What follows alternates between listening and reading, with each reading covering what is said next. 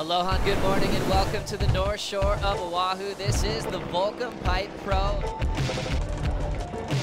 with solid surf entering our lineup here at Pipeline, and an easy call to start off with a round of 112 to kick off things. Mikey Bruneau is getting absolutely blasted out into the channel.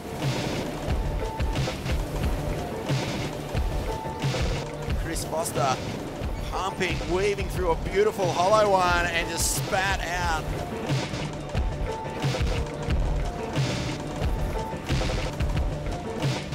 And out the back. Another big deep tube here and into the channel. And a nice easy exit. And up in riding, that is Orange Koa Rothman again, gets deep, pulls in, still traveling, and oh, he comes Wow. out.